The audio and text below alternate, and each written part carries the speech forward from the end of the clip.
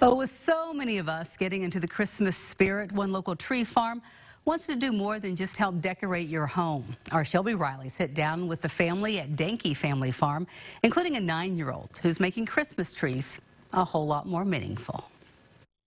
In Martinsville, Illinois, sits Dahnke Family Farms. What started in 1984 as Christmas trees sitting on three acres surrounding the Dahnke family home now sits on 30 acres. Among the family, 10-year-old Cooper Dahnke. My grandma asked me to start a stand of some kind, and I had an idea for little trees since it's a Christmas tree farm. And so I thought of memory trees so you can think of back and remember whenever your kids were this small and then seven years later when they were this tall. Not only can you get a Christmas tree accompanied by a day full of other activities, but you can get a memory tree. Cooper came up with the idea a few years ago to give people who have lost a family member a way to remember them. Cooper um, approached his grandpa actually and asked grandpa if he could maybe help him do this.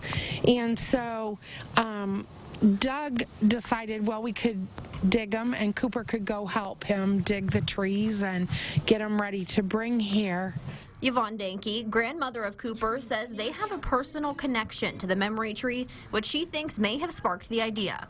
Cooper is our oldest grandchild, and uh, we lost a daughter, so part of this came from her memory too. And so he um, wants other people to have the opportunity to me memorialize their family member with it, or they can use it as a memory that they're building with their family as it grows. Cooper says he's seen positive reactions from the community in years past and hopes that will continue this season. The idea is that the tree grows along with your family and the memory of your loved one. We have a a kit that comes along with it. It has reindeer manure, uh, sticks to keep the tree straight, and some mulch to put around it to make it look good. His favorite part? Well, he says that's an easy answer. My favorite part is probably seeing the pictures on Facebook of them by their tree. Such a sweet idea. The memory trees are $25.